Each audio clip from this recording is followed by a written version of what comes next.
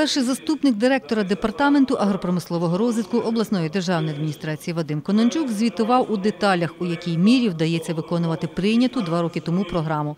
Посадовець оперував цифрами, скільки виробляється молока, м'яса та яєць на душу населення. Виявляється, душі воліли б більше споживати продуктів тваринного походження, хоча показники в цілому непогані. Геть кепсько сьогодні сільгосвиробникам, котрі займалися відгодівлею ВРХ. Припинення державних дотацій у купі з іншими чинниками боляче вдарили по галузі. Худобу скотарів вирізають, натомість беруться за свинарство. Стосовно молочарства, то тут також не все гаразд. Узимку собівартість кілограма молока, каже пан Конончук, становить 5 гривень. Від цієї цифри і слід вираховувати закупівельні ціни та вартість продукту в торговельній мережі. Щодо цін на крупи, особливо гречку, які буквально за вихідні стрімко злетіли, то робоча група департаменту моніторить ситуацію на ринках, але помітних результатів наразі не досягла. Про епізоотичну ситуацію звітував Олександр Садовюк, заступник начальника управління ветеринарної медицини, який надав вичерпну інформацію про щеплення свійських тварин від сказу, відомі українським ветеринарам випадки інфікування африканською чумою, яка, до речі, дісталася вже Білорусі та навіть Луганської області,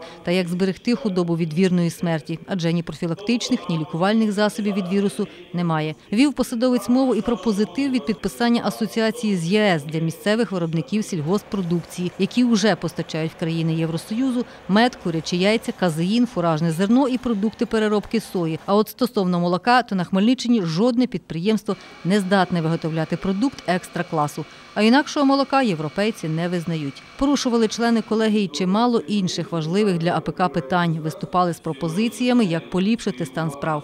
Одна з пропозицій створення кооперативів.